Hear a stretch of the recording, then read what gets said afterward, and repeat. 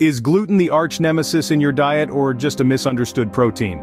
As we navigate the labyrinth of dietary advice, gluten often emerges as a prime suspect. The explosion of gluten-free diets and the buzz surrounding it has painted this humble protein in a controversial light.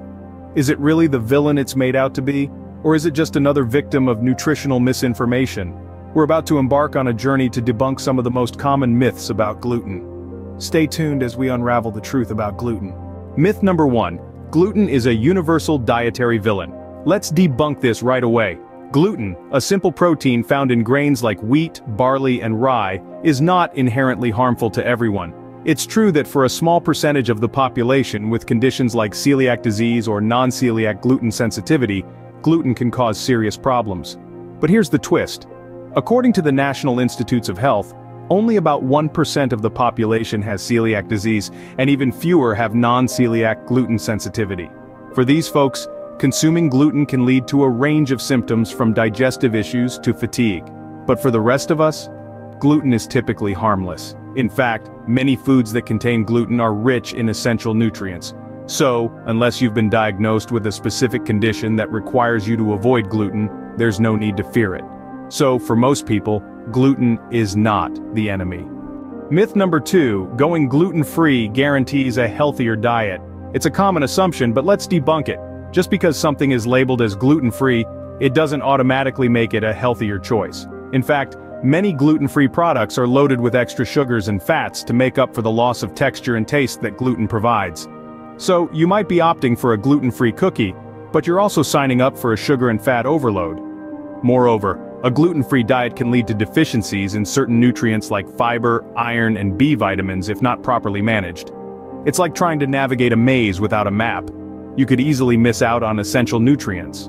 So the next time you reach for that gluten-free label, think about what you might be trading off. Remember, gluten-free doesn't always translate to healthier.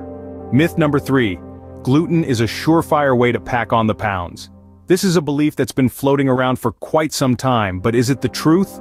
It's a misconception that gluten directly leads to weight gain. Let's break this down. Gluten itself is a protein found in wheat, barley and rye.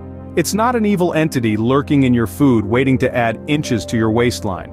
It's simply a protein that gives bread its elasticity and pizza dough its chewiness. The real issue lies in our eating habits. If you're indulging in high-calorie processed foods that happen to contain gluten, then yes, you might see a rise in the number on the scale. However it's the excess calories and unhealthy choices not the gluten, that are the real culprits here. Remember balance is key. Any food, when eaten in excess, can contribute to weight gain. So, gluten isn't the sole culprit behind those extra pounds. Having busted these myths, what's the final verdict on gluten? Let's recap. We've taken a journey through the world of gluten, dispelling some common misconceptions along the way. Gluten isn't an evil monster lurking in your bread loaf. It's a protein found naturally in wheat, barley and rye. While it can cause adverse reactions in those with conditions like celiac disease or gluten sensitivity, for most people it's perfectly safe to consume. We've also debunked the myth that gluten-free automatically equates to healthier. Gluten-free products can sometimes be higher in calories, sugar and unhealthy fats, and lower in fiber and nutrients than their gluten-containing counterparts. So, unless you have a medical reason to avoid gluten there's no need to fear the pasta aisle. And then, there's the weight gain myth. Gluten itself doesn't directly lead to weight gain.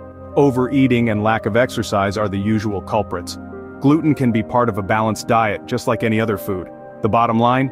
Everyone is unique. If you're considering a gluten-free diet it's crucial to seek advice from a healthcare professional. They can guide you based on your individual needs and health status. Before we sign off, Remember to hit the like button if you enjoyed the video and subscribe to WellnessWIZE for more myth-busting insights. Until next time, stay healthy and informed.